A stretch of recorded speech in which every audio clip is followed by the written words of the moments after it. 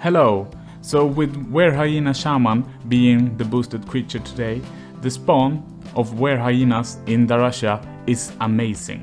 So I went there on my 538 Elite Knight. I had some good equipment on and I used double mana leech and double life leech when I hunted here. Werehyaenas are weak to ice, so bring your best ice weapon. Paladins uses physical and holy since holy is also really strong here and mages just go with avalanches. So in 30 minutes I managed to get almost 3kk EXP and 600k profit.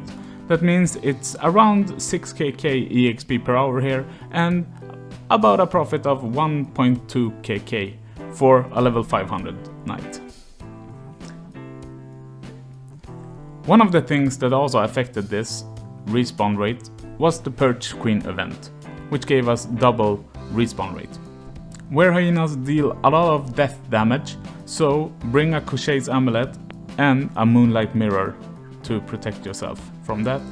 So the lap I used was I started in the big room, ran north, cleared the northwest room, back to the middle, then to the southeast, keeping my route pretty, pretty small.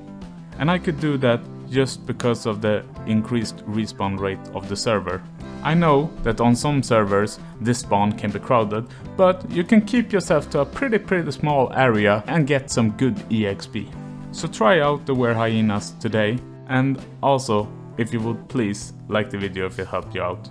So bring your best equipment and go and get the EXP you deserve here today. And if you want to see how it was when the regular Werehyaena was boosted, you should check the video on screen right now.